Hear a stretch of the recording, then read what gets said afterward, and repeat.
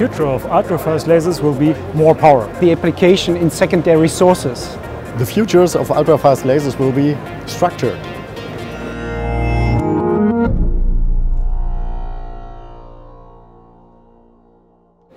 What does ultra-fast lasers mean for the applications? In one word, throughput. We will do see a necessary paradigm shift from micro, nowadays macroscopic applications to macroscopic large-scale applications. Just as an example, we could activate the surface, change the tribology, activate it in a way that we do see hydrophobia, hydrophilia, or change the optical parameters of the surface. What are the most important questions we have to ask ourselves to make sure not to be left behind in terms of ultra-fast lasers? If you would scale the average power, there are basically two ways to do so. Either increase the repetition rate of the laser source or increase the pulse energy, or to both in parallel. But for both ways, we have to find the right optical approaches to get out the throughput we would like to get. When talking about ultra-fast lasers, we are also talking about beam shaping. What does it mean and what is it useful for? So the term structured light or beam shaping refer to tailoring light in all, in all its spatial degrees of freedom. For example, amplitude, phase or polarization. And we use beam shaping and customized focus distribution for subtle micro and nano machining and at the same time exploiting the full energy and power performance of our ultra-fast laser sources. How do you realize these shapes?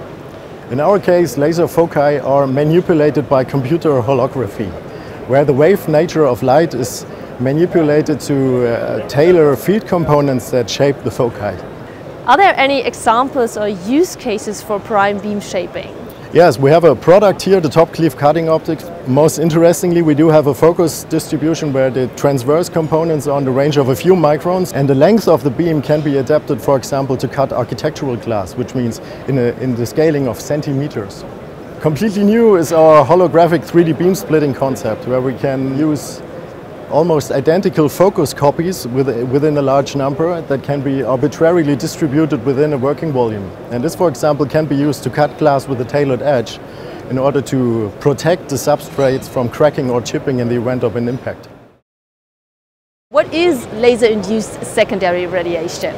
What we have in mind here is using our technology uh, to make the next generation of particle accelerators, X-ray sources and so on happening. The main driver beyond that is the possibility of lasers to achieve highest intensities which have not yet been achieved so far.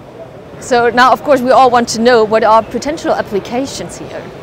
We are using a laser, it's a drive laser, uh, which is converted by any kind of sophisticated process into a second source. The second source can be another photon, which is converted into the most extreme UV, ultraviolet light, extreme ultraviolet light, or maybe even into the X-ray uh, light.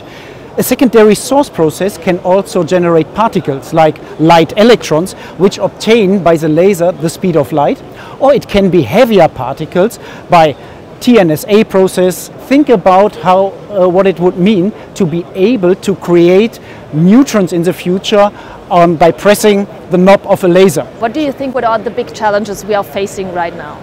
lasers would enable X-ray sources of such high brightness that you could get point clear pictures of what's going on in your body, especially in soft tissue. It could enable potentially in the future uh, a revolution in mammography. The challenge of that is we simply need to build it, we need to prove it, and we need to bring costs for such systems down to a level where the machines, medical devices, industrial CT machines can accept for the cost structures. What do you think? What will the future of ultra-fast lasers look like? Write us a comment or create your own content by using our official hashtag ChallengeTrumpfLaser. And if you want to see more of the laser world of photonics 2022 or you want to get to know more about the topic itself, then simply follow the link in the video description. Thanks for watching and see you then.